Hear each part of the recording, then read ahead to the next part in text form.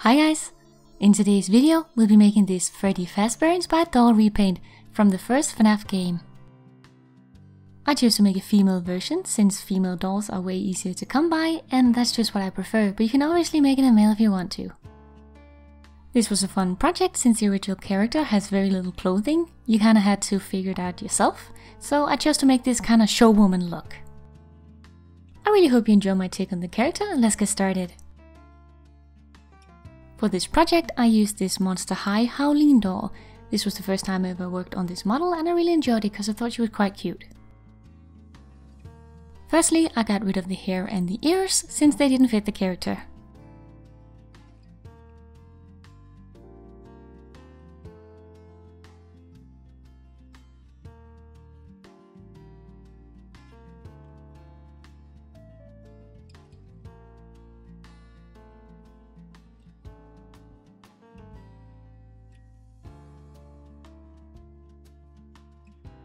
Then use acetone or nail polish remover to remove the face.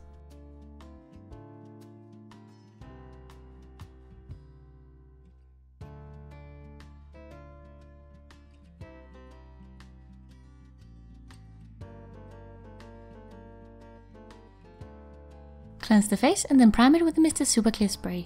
I usually use the one that's UV cut, but my supplier was out of stock so I had to buy the one that wasn't UV cut and I had some issues with it, but I'll get back to that. As usual, I use my watercolor pencils, a few shades of chalk pastels, and also a bit of acrylic paint for the face.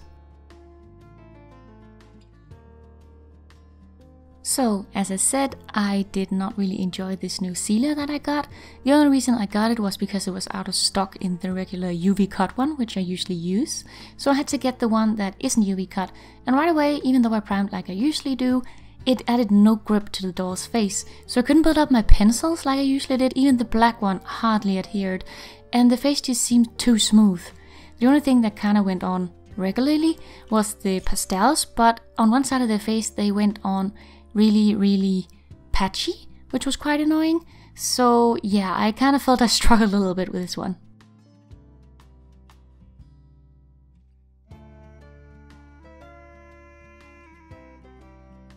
In order to try and build up the opacity a little bit better in this first layer, I chose to go over the areas that I covered with pencils with a bit of chalk pastel in the proper colors to kind of deepen the colors as much as I could.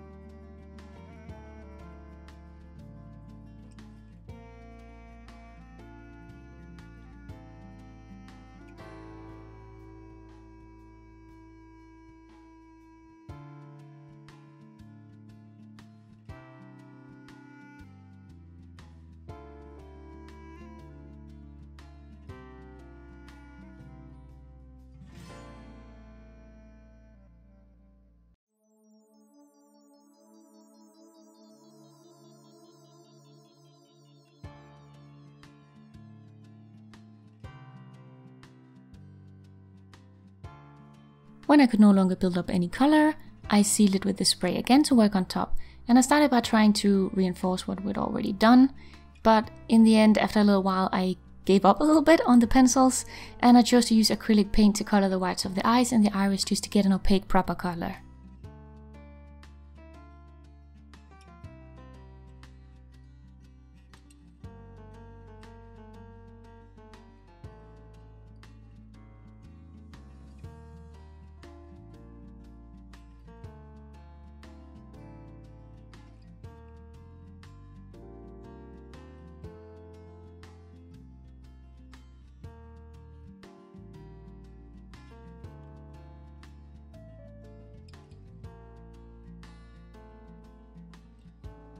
So here I got out the acrylic paint and yeah, it was way more satisfying than the pencils at this point.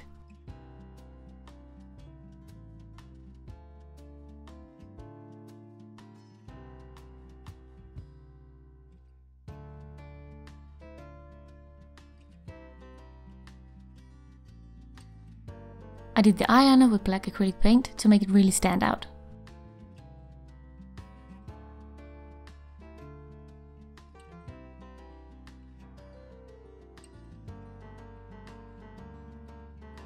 After sealing in the paint with the spray, I started shading the eyes. Normally I shade darker around the top of the iris, which would have a shadow from the eyelid, but here I did it the opposite way by making the most shading at the bottom and keeping it light at the top, because that is the way Freddy's eyes look.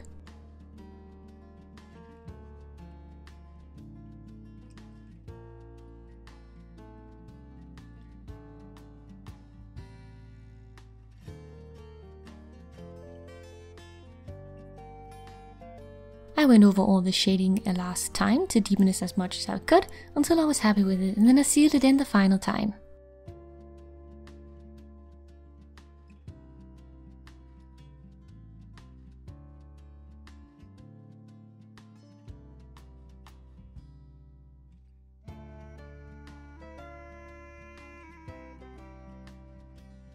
While the face was drying, I used polymer clay to sculpt the ears.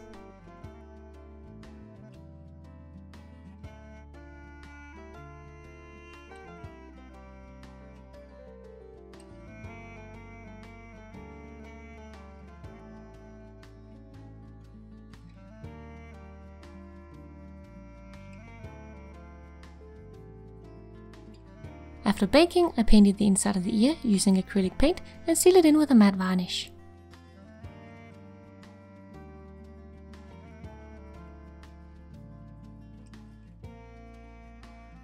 Freddy also has a microphone which I made in grey clay to start with, baked it and then painted it with acrylic paint.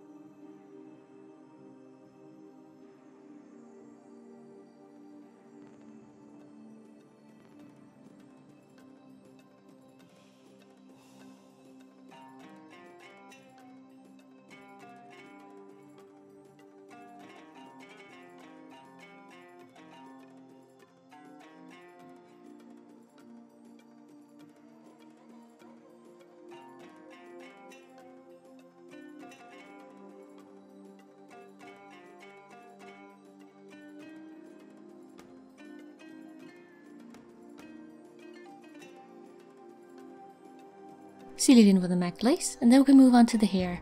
I use this chocolate brown viscose hair which I got off eBay. I glue strands of hair onto the doll's head, being mindful of where I wanted to place the ears. You can see I marked it off here, so I can add the ears at the proper time.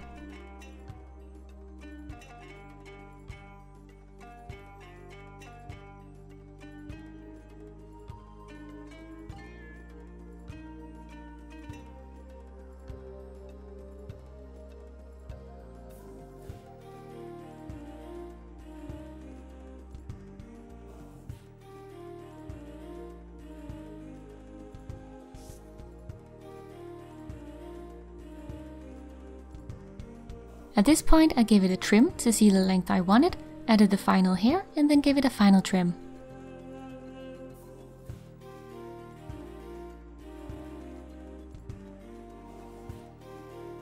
Then I glued on some doll eyelashes and glazed the eyes.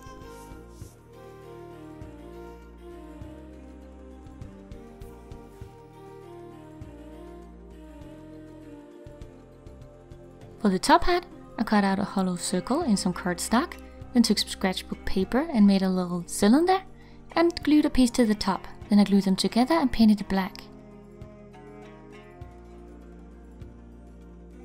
Now onto the clothing. I used the kitchen film and tape method to make my patterns, starting with a simple pair of shorts.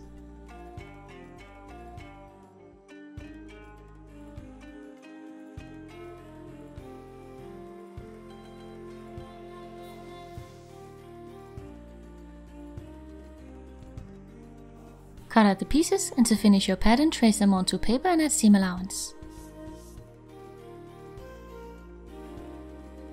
I decided I wanted them a little shorter, so I took a piece of both bottoms and when I played them on the fabric to cut them out, I placed them on the already fixed edge, so I didn't have to add seam allowance there.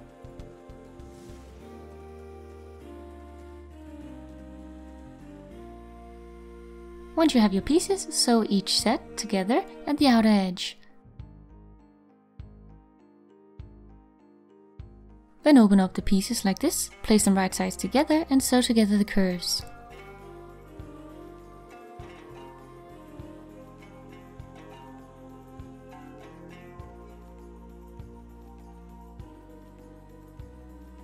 Then flatten everything out and sew together the crotch part.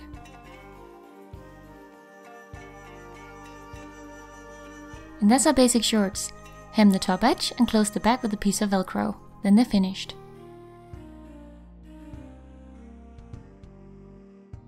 For the top, I wanted something that looked like a vest with a shirt underneath, so I made a pattern like this.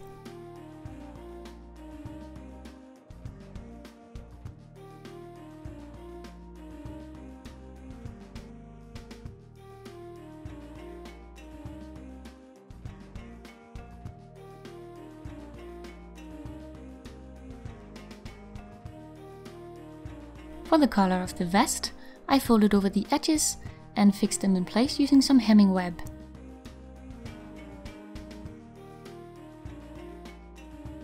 Then I added it onto the right side of the front piece.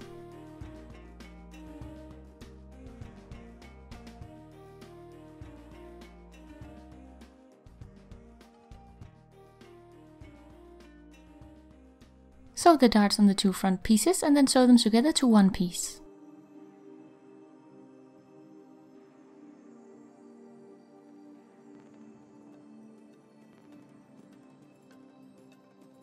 Then sew the two back pieces on by the shoulders, fix the armhole, and then sew them by the sides.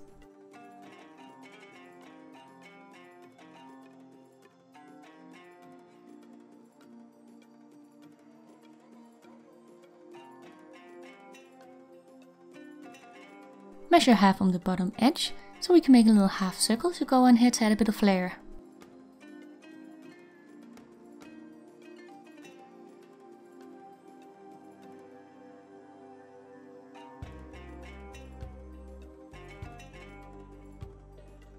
Make two of these pieces and sew them onto the bottom of the vest.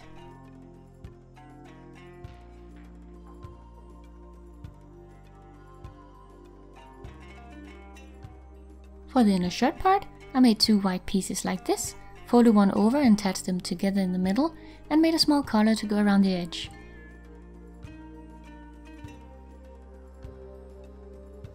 Now you can sew the shirt to the vest, and then close the whole thing with velcro in the back. Finally, I made a little bow tie from ribbon, added this on, along with a few small buttons. And then we're ready to put it all together.